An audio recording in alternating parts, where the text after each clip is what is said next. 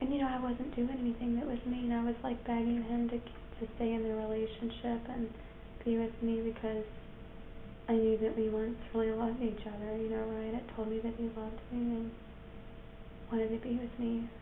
And I guess somewhere along the way, that grew to hate. He was screaming how much he hated me.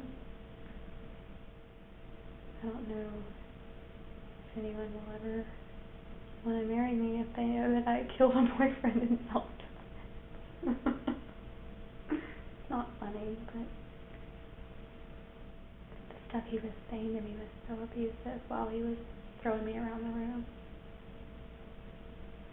I'll never forget this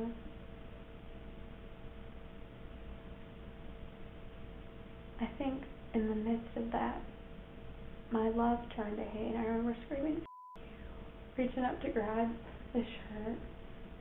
You, how dare you mock my family? How dare you talk about you think secretly my mother and my family?